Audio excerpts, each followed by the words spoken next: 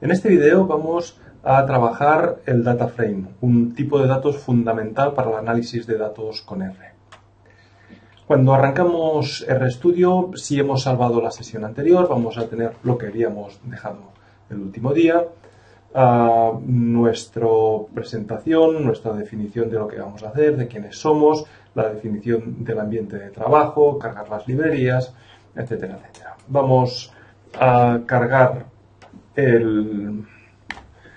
lo que habíamos hecho el último día, la base de datos eh, arroz.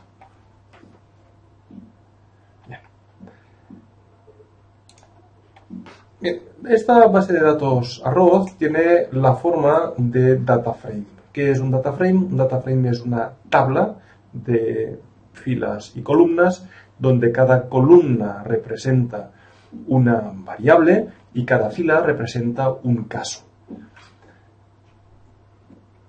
En un data frame la tabla tiene que ser rectangular, las columnas tienen que tener la misma longitud y mm, debe respetarse esta mm, doble ordenación, columnas para variables, filas para casos. El siguiente ejemplo de los mismos datos un poco más significados, uh, simplificados, solo la variedad y la producción, podríamos tener uh, como este, entrada de esta manera, en la que tenemos una columna para cada, para cada variedad. Esto no sería un data frame porque cada fila no representa un caso y además nos dificultaría mucho el análisis con R. Bien, Uh, tenemos el data frame. Un data frame está formado por vectores, columna, cada uno de los cuales puede, tener puede ser de un tipo de datos diferente. Este, por ejemplo, es de un tipo numérico y estos de aquí veremos que son de tipo factor. Todo esto lo iremos viendo en la sesión de hoy. Volvemos al script y mmm, podíamos empezar viendo un poco de resumen de la información que nos uh, proporciona un data frame. Con el comando names, corremos, nos da los nombres de las variables, de las variables que forman el data frame, de las columnas. Fíjense que aquí nitrógeno, variedad, producción son exactamente los mismos que tenemos aquí.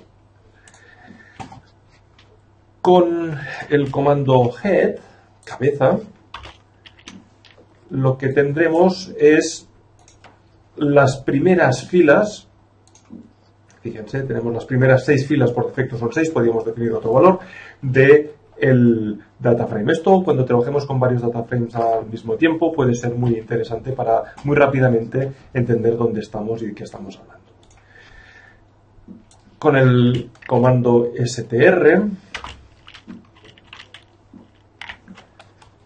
lo que tenemos es una información sobre lo que existe dentro del data frame. Vemos que tenemos tres columnas, nitrógeno, variedad y producción, nitrógeno es de tipo factor, con with cinco niveles, que son N0, N1, N2, etcétera, etcétera. Variedad es factor con tres niveles, que son V1, V2, V3, y producción es numérico y con valores de tipo numérico. Finalmente, otro comando interesante para la síntesis numérica, para entender qué información nos proporciona el data frame, es summary, en el que de nuevo vemos que tenemos tres columnas, nitrógeno, variedad, producción, nitrógeno tiene cinco niveles, N0, N1, N2, N3, N4, cada uno de los cuales tiene tres observaciones, variedad tiene tres niveles, V1, V2, V3, con cinco observaciones cada una, mientras que producción es una variable numérica y por lo tanto nos da una síntesis numérica, con el mínimo, el máximo, la media, la mediana y las cuartilas. Bien, vamos a ver un poquito algunas cosas relativas a los tipos de datos que podemos tener o que nos vamos a encontrar. Con el comando class de .rod nos dice de ¿Qué tipo de datos estamos hablando? De .rod es un data frame. Eso ya lo sabíamos porque lo habíamos entrado como una tabla de datos, que es tipo data frame. Otra manera de hacer lo mismo, o de por lo menos de ver si esto es un data frame, es is.data.frame y el nombre del objeto de punto arroz. Nos dice que true, true es verdad, es verdadero. Mm, es verdad que de punto arroz es un data frame. La columna producción mm,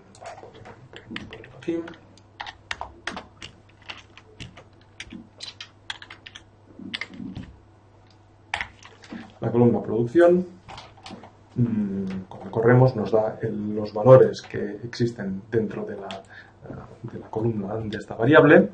¿de qué tipo de dato es producción? class producción nos lo va a decir y es de tipo numérico podríamos preguntarnos, podríamos habernos preguntado si es de tipo data frame. Nos va a decir que es falso. Producción no es del tipo data frame. ¿Por qué? Porque es del tipo numérico. Es numérico, y numérico. Producción es verdad. Con nitrógeno podríamos hacer lo mismo y veríamos que nitrógeno es del tipo factor. El tipo factor es un tipo de datos que nos irá muy bien para analizar datos experimentales y es una variable que codifica los niveles de una determinada variable factor. Finalmente, como última cosa que vamos a ver en este vídeo, es cómo acceder, cómo indexar la información dentro de un data frame. Hemos visto antes que podíamos acceder a la información, a los valores que tomaba la variable producción, simplemente tecleando producción.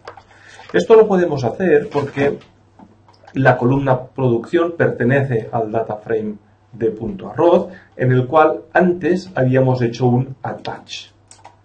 La forma general de hacerlo, que lo vamos a poder hacer siempre, esté o no esté hecho el attach, es de la siguiente manera nombre del data frame, dólar, nombre de la variable. De punto arroz, dólar, producción. Esto nos va a hacer exactamente lo mismo que he hecho antes. Lo que pasa es que esto lo podemos hacer siempre. Tengamos o no eh, hecho el attach del de data frame uh, arroz. Lo mismo podemos hacer con el nitrógeno. Accedemos a los valores de la variable nitrógeno dentro del data frame arroz.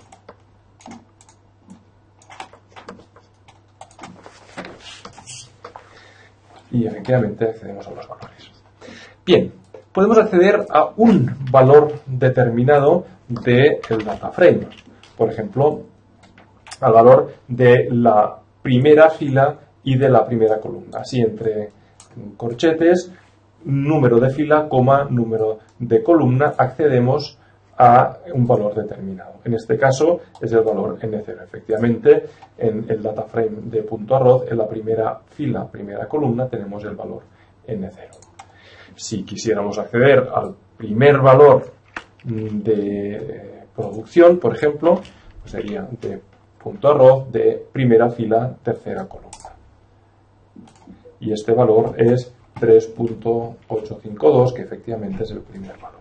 Si vamos al data frame, vemos que primera fila, tercera columna, tenemos exactamente este valor. Ah, podríamos acceder al segundo valor, por ejemplo, etcétera, etcétera.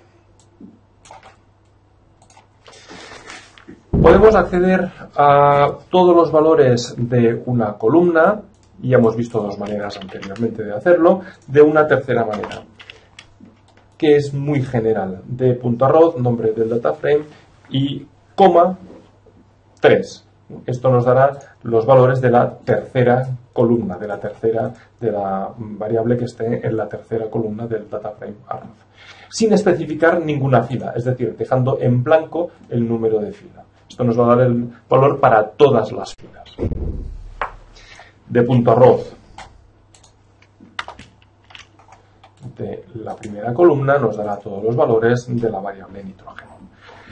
De manera análoga podríamos acceder a todos los valores de una fila de punto arroz, que es el nombre del data frame, de corchetes primera fila, coma, cero. Y esto nos accederá a todos, nos dará todos los valores que están en la primera fila en todas las columnas de la primera fila. Bien, y con esto acabamos este vídeo y hasta la semana que viene.